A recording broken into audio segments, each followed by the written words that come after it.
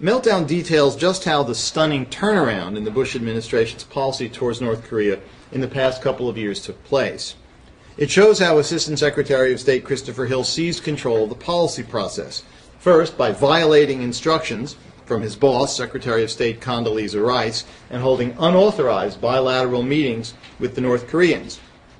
And then, after winning Rice over to his side, by freezing out hardline opponents of engagement.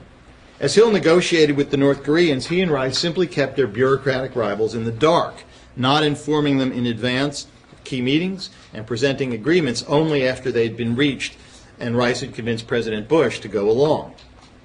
The normal interagency process in the government, preparing position papers, drafting talking points, circulating them through the bureaucracy, didn't happen. As one source described it to me, the policy process became Hill calls Rice and Rice calls Bush. Given the intense opposition among the hardliners to any deal with North Korea, this was probably the only way that Christopher Hill could have achieved the diplomatic breakthroughs that he did. But it's left him politically isolated and without a lot of friends and allies in Washington as the negotiating process reaches a critical stage, as has now happened. Meltdown also reveals that the nuclear crisis which erupted in 2002 and which led directly to North Korea testing a nuclear bomb and becoming the world's eighth declared nuclear power might have been avoidable and was to a considerable degree provoked by administration hardliners who spun intelligence about a procurement effort for a uranium program into claims of a full-fledged production capability to make a uranium-based nuclear bomb that did not then and does not now exist. The conventionally accepted narrative is that the U.S. uncovered a clandestine North Korean uranium enrichment program, that Assistant Secretary of State James Kelly confronted the North Koreans about it during a visit to Pyongyang in October of 2002, and that they admitted the charge. This led to the U.S. decision to cut off supplies of oil promised to North Korea in late 2002, triggering Pyongyang's decision to restart the Yongbyon reactor frozen under the 1994 agreed framework deal negotiated by the Clinton administration, and then to stage its subsequent nuclear breakout, culminating in the 2006 nuclear test. Meltdown shows that in the summer and spring and summer of 2002, U.S. intelligence did discover a North Korean effort to procure the components that could be used for uranium enrichment.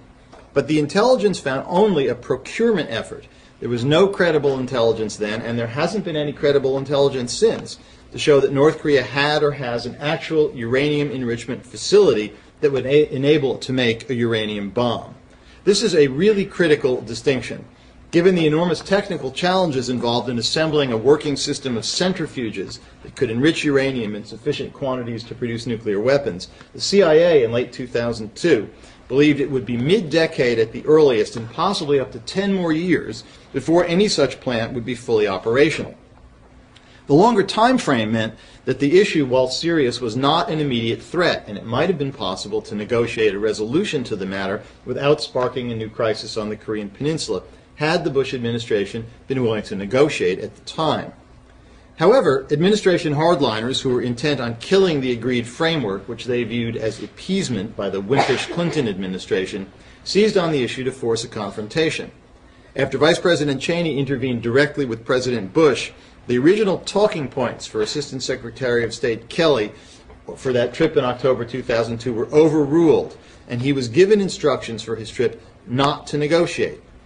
Instead, his instructions dictated that he simply tell the North Koreans they had to abandon their uranium program before any progress on any other issue was possible.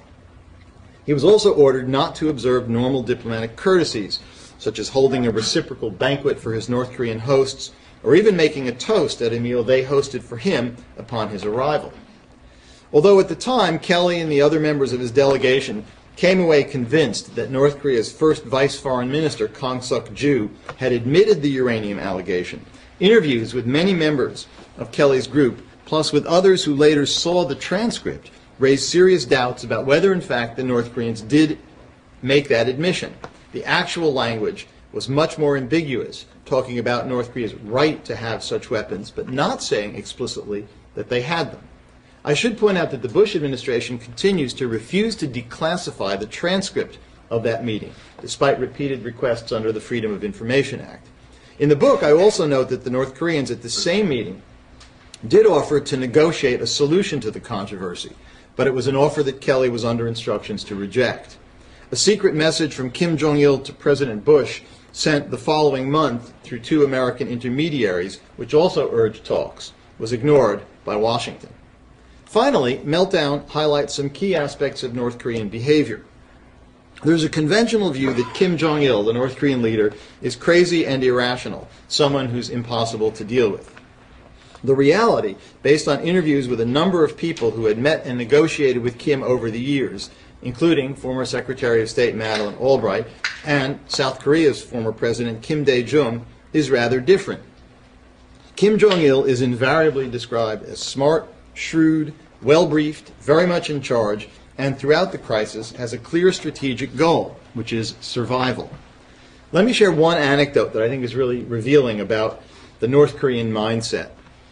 On one of my visits, I was taken to the mausoleum that houses the embalmed remains of the great leader Kim Il sung, who died in 1994. And when you visit, you join this vast throng of somber faced North Koreans and you glide across a moving walkway that runs for almost a kilometer until you reach a series of vast marble corridors. These lead to a giant chamber with a big white marble statue of the great leader illuminated from behind by pink lights to give the effect of the rosy glow of dawn. They love this rosy glow effect in North Korea for some reason.